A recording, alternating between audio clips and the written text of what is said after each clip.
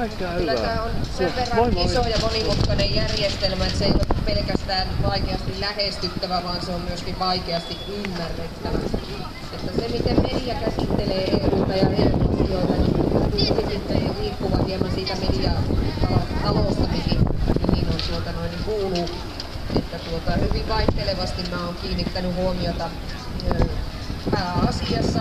Nyt mä kokisin sen niin, että median kuuluisi enemmän panostaa siihen, että se todella tehdään ymmärrettäväksi tämä järjestelmä ihan, ihan tota tavalliselle kansalle.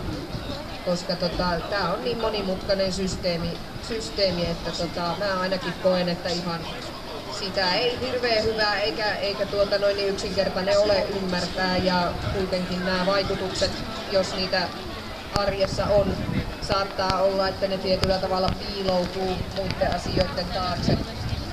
Että tota, kyllä niin kuin sellaista puolueetonta ja neutraalia uutisointia ja, ja, ja kaikkea